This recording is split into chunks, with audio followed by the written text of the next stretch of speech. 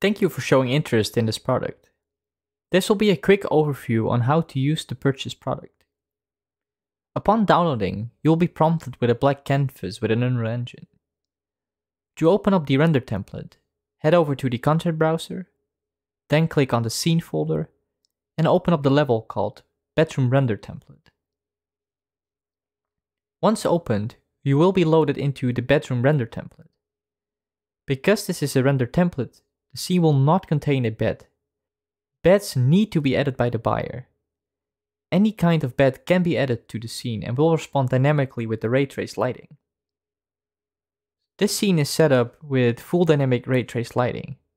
This means that the buyer can make any changes to the scene's assets and lighting without having to rebuild any form of lighting.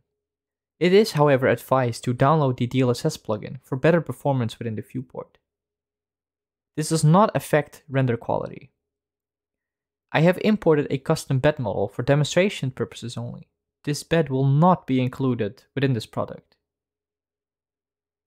We have three cameras set up within the scene. Buyers of the product can add more if they like. Each camera comes with its own level sequencer within the scene folder in our content browser. We can see our camera by going to the perspective tab within our viewport and select a camera.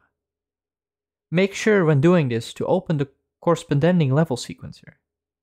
So, for example, when we select camera 2, make sure to also open the level sequencer called camera 2.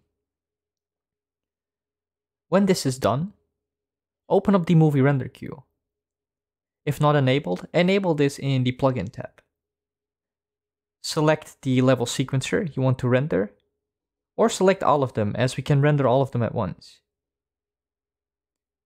Next, make sure to add the render preset that comes within this product. In here, the buyer can make as many changes as they like.